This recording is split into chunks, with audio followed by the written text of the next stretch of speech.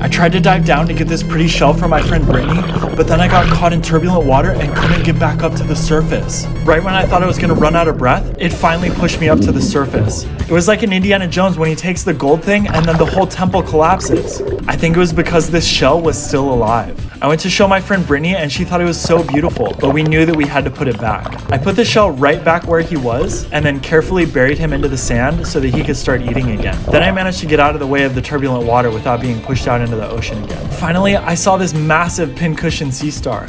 I also saw a sea cucumber right next to it. I put my hand nearby to show you guys the size. They have a special protective coating made out of sand, and so I didn't want to touch him and disturb him. Now that is a big sea cucumber.